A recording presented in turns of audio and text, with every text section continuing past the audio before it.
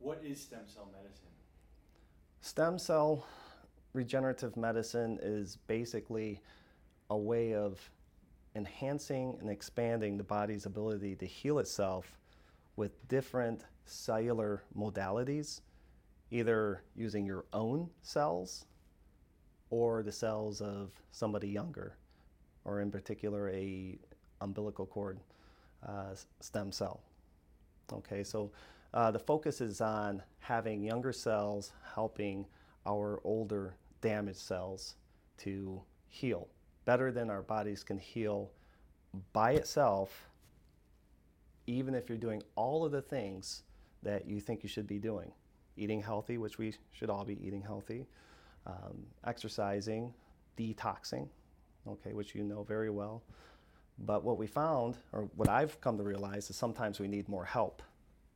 And sometimes our diseases are so advanced that we need a lot of help. And that's where using these young cells to help our damaged older cells is, is the way that we can get past our illnesses, in my opinion. Yeah.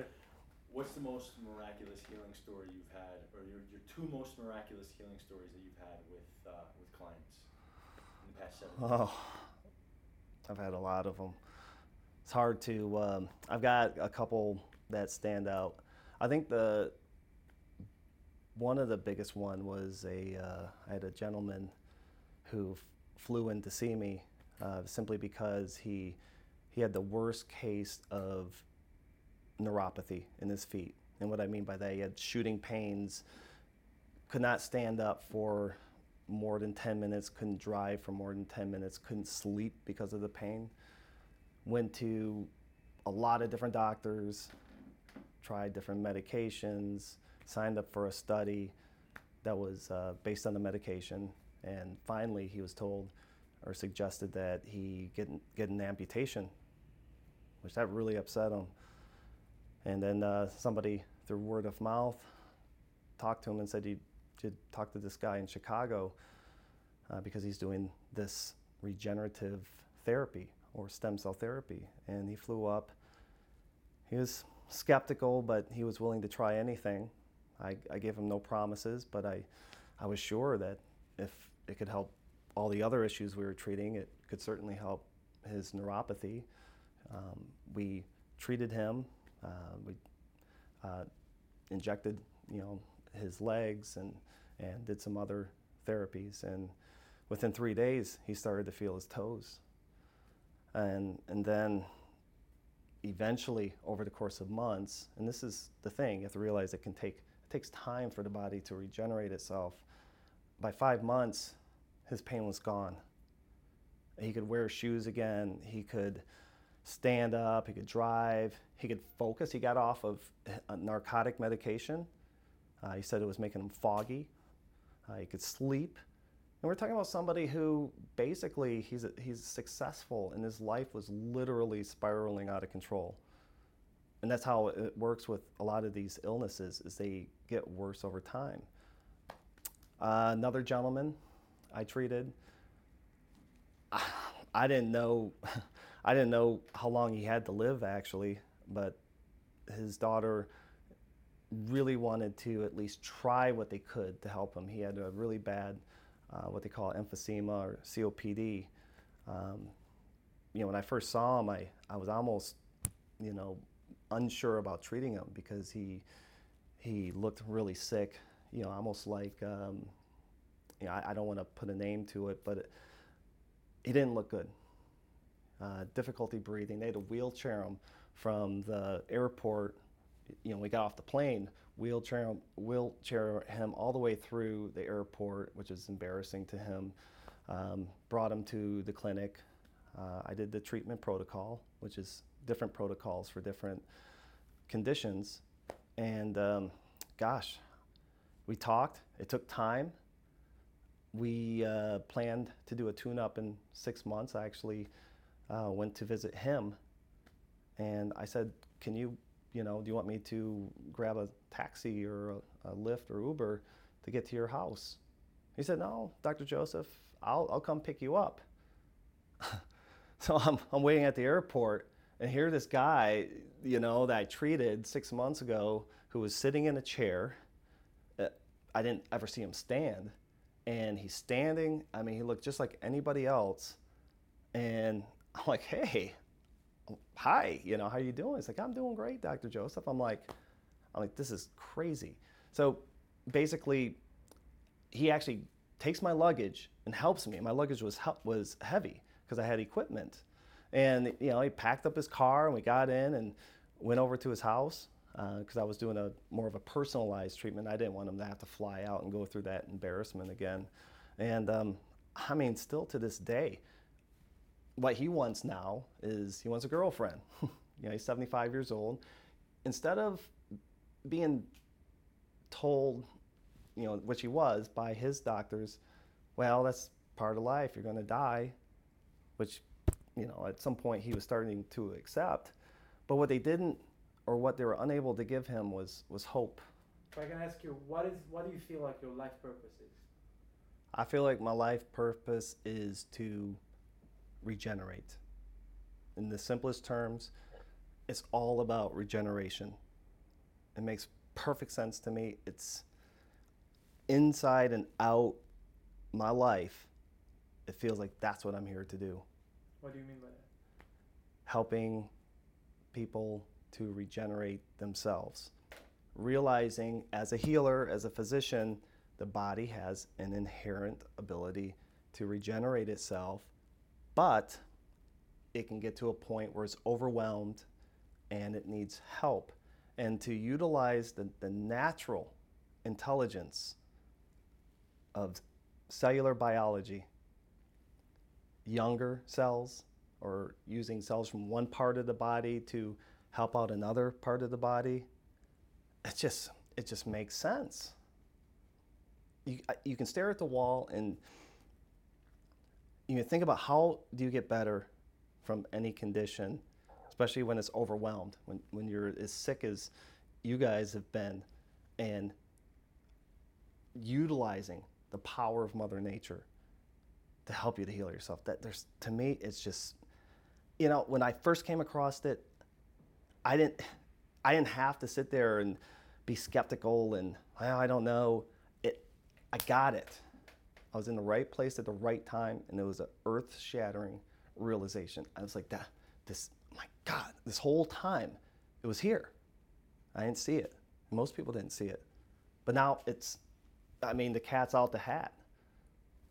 So this is what it is. And it, it, it excites me more than anything else to be able to have the privilege to treat people like yourself, yourselves, other people with these conditions especially when you thought you had, there was nothing you could do, or you were told there's nothing that you could do. And again, it's, it's not to spend my whole life. I got no desire to change the healthcare system and tell and any of that stuff. There's benefits to the healthcare system too. But when it comes to chronic conditions like the ones you're dealing with, enhancing and expanding your body's ability to heal itself is key. That's where it's at. And doing it in the most natural way. And it's safe. And it's only getting better. Um, one more? I have a question and then we can move into personal, yeah? Okay.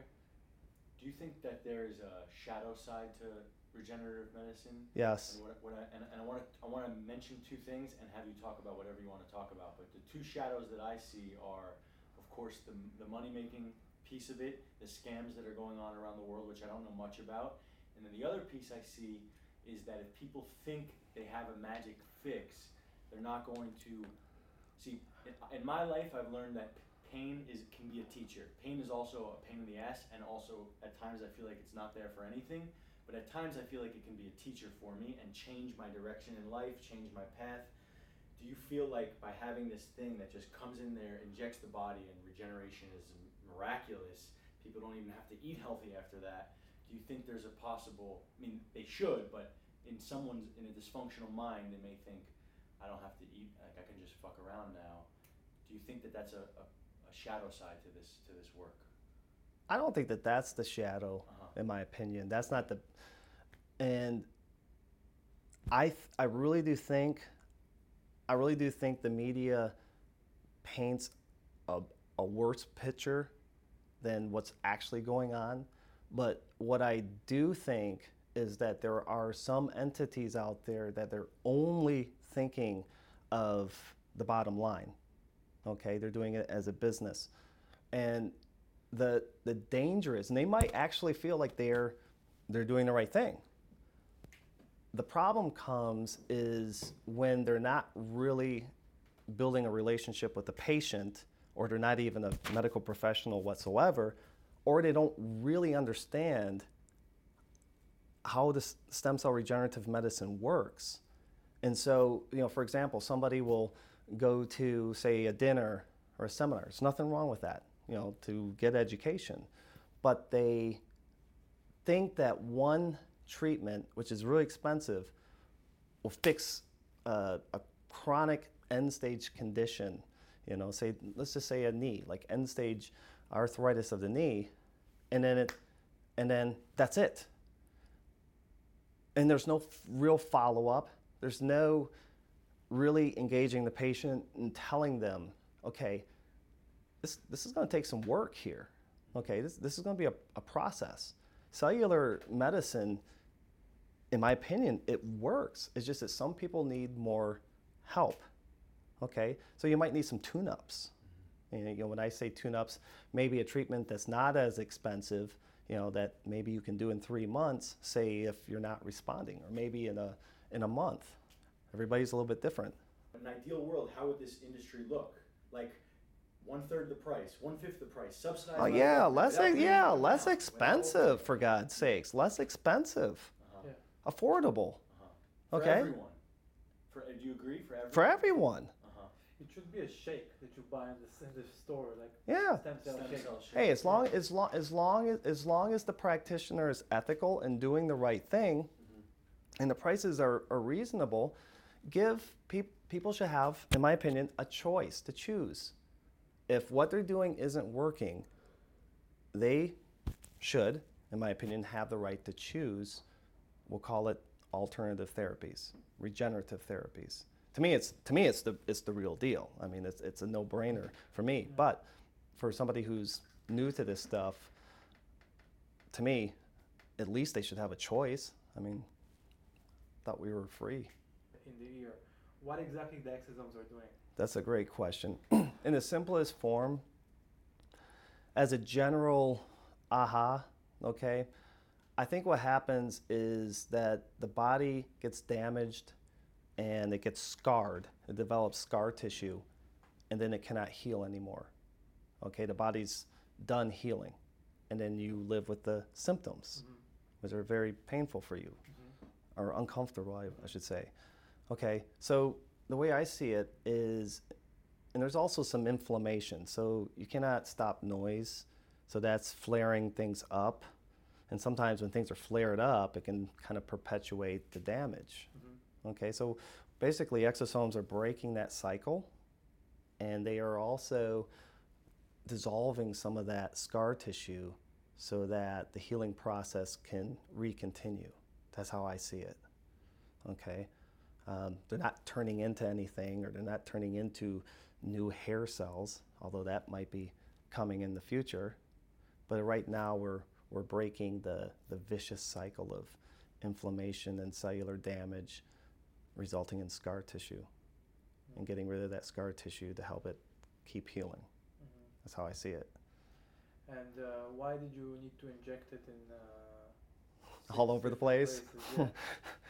well, the common sense answer is because that's a hard place to get to right. is the inner ear Right. and the the hearing nerve, which is even deeper. right. So I wanted to hit it from every angle. Right. Right.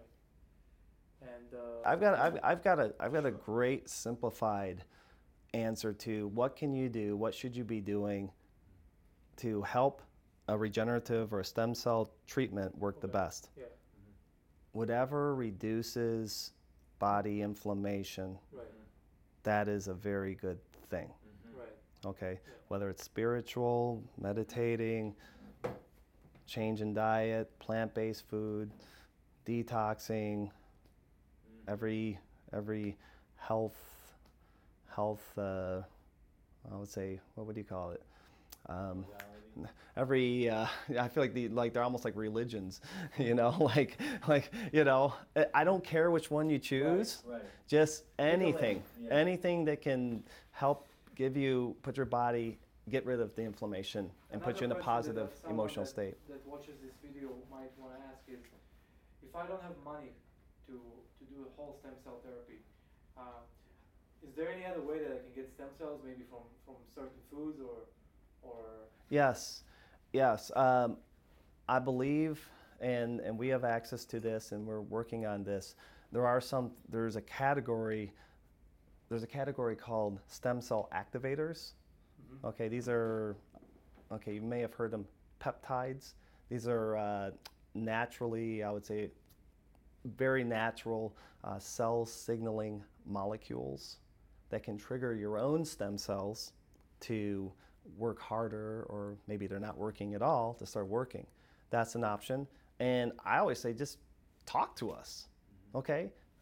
Let's see what we can do. We'll figure it out a, a way to make it work. But you got you got to meet you got to meet us halfway too. It takes two people. is there stem cells in certain foods like I don't know bone marrow or or uh, bone broth? I don't know. Like I, I've heard that, that those th- there's type of types of food that trigger your own stem cells. Is there is there such such a thing or no? I'm sure there is. I mean, nothing's like coming to mind. Right. That's a great question. Um, I know that, and I don't want you know exercise, exercise. I know as everybody says exercise, but it's true. Um, it probably does stimulate our own stem cell release from our bone marrow. Okay, um, I can't think of anything specific, and I'm sure somebody can. Um, but listen, I'm looking. I think the thing that intrigues me the most Mhm. is there's always going to be another piece of the puzzle okay? That that's one thing. There's always it's, it's evolving fast okay? And there's always different layers of it. I think i tend to come from uh, I, I like results so much that i like things that have the biggest impact okay? So you know instead of talking about eating a bowl of blueberries you know yes, it's a good thing. It, might, it has antioxidants, uh, lots of things, lots of nutrients. But that doesn't, personally, it doesn't excite me. You know, I'm looking for something where, you know, we we treat you and it's like, wow, you know, it's like, uh, it's it's impactful. Um, it's hard for me, you know, if somebody, if you just ate a ton of blueberries, you- you're probably not for your, what you guys are going through. You're probably not going to feel any different, No. uh, even though you're doing a good thing. Mhm. See what I mean? So I tend to like the things that give the most powerful results. It doesn't mean that I don't believe in in all of the other arts. Right. It's just I can only focus on Right. what I what I am, and I'm just more intrigued by the regenerative modalities that that I do.